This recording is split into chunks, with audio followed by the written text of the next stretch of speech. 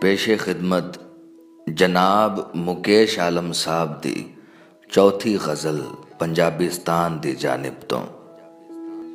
ਜੇਕਰ ਆਦਤ ਉਦਾਸ ਰਹਿਣ ਦੀ ਹੈ, ਜੇਕਰ ਆਦਤ ਉਦਾਸ ਰਹਿਣ ਦੀ ਹੈ, ਫਿਰ ਕੀ ਵਕਤ ਉਦਾਸ ਰਹਿਣ ਦੀ ਹੈ? ਇੱਕ ਤਾਂ ਆਮਦ ਹੈ ਉਸ ਦੀ ਅੱਜ ਦੀ ਸ਼ਾਮ। ਇੱਕ ਤਾਂ ਆਮਦ ਹੈ ਉਸ ਦੀ ਅੱਜ ਦੀ ਸ਼ਾਮ, ਉਤੋਂ ਦਾਵਤ ਉਦਾਸ ਰਹਿਣ ਦੀ ਹੈ।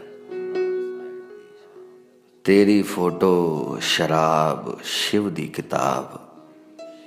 ਤੇਰੀ ਫੋਟੋ ਸ਼ਰਾਬ ਸ਼ਿਵ ਦੀ ਕਿਤਾਬ, ਸਾਰੀ ਕਸਰਤ ਉਦਾਸ ਰਹਿਣ ਦੀ ਹੈ। ਉਸ ਨੇ ਅੱਜ ਸੀਨੇ ਲਾ ਲਿਆ ਮੈਨੂੰ। ਇਹ ਵੀ ਰਹਿਮਤ ਉਦਾਸ ਰਹਿਣ ਦੀ ਹੈ।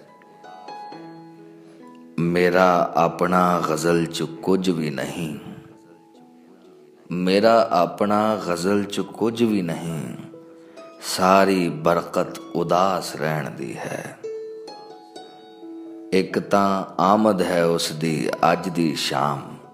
ਉਤੋਂ ਦਾਵਤ ਉਦਾਸ ਰਹਿਣ ਦੀ ਹੈ।